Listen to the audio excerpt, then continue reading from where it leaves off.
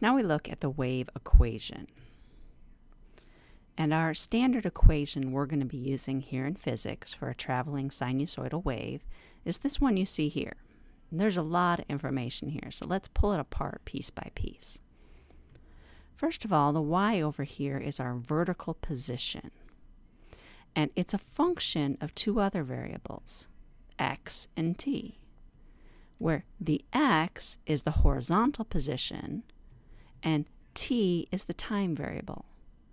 So we're looking for what's the vertical position of the wave at some horizontal position along the wave at some particular time.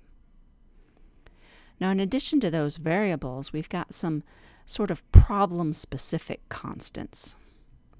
For example, the amplitude, A, the phase, phi, the angular frequency, and the angular wave number.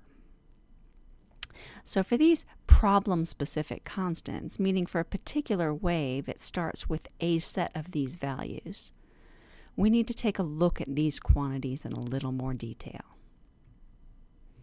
Start with the easy one, the amplitude. It's got the symbol of a capital A. Don't use a lowercase a, make sure it's a capital A. It represents the maximum displacement of the oscillator, and it can be measured in any distance units, a standard unit would be meters, but I could use other distance measurements like centimeters or feet as well. Then we get to the angular wave number. Now the symbol for this is K. And be careful because this is a new use for the symbol K. Previously, we used the symbol K as the spring constant. This is not the spring constant. It's just another type of variable called the angular wave number that we happen to be using the same symbol for. It's related to the wavelength, and we'll take a look at that in a little bit more detail in another video. And my units, it has to be in units of radians per meter. Then we get to my angular frequency, which is very similar. It's got a symbol here of omega. And yes, this is the Greek letter omega. It's not a W. Remember, the Greek letters refer to our rotational properties. And like the angular wave number was related to the wavelength, this is related to the period of the wave. And this angular frequency is then measured in units of radians per second. Then we get to the phase, and it's got the symbol here, which is the Greek letter phi. And it could be called the phase, but it can also be called the phase shift or the phase constant. And it's a measure of where the oscillation started in the cycle. So it can range between 0 and 2 pi radians. And it has to be in units of radians for this equation. So now we can look at the overall units.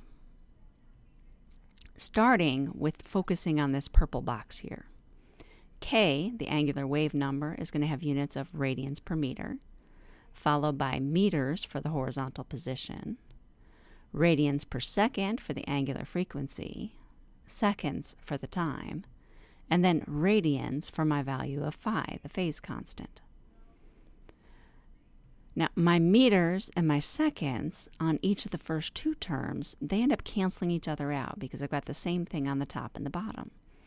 And that leaves me with radians minus radians plus radians, or just radians overall. So that means when I do the sine calculation here, I've got a number that's in radians, and my calculator has to be in radian mode to do the sine.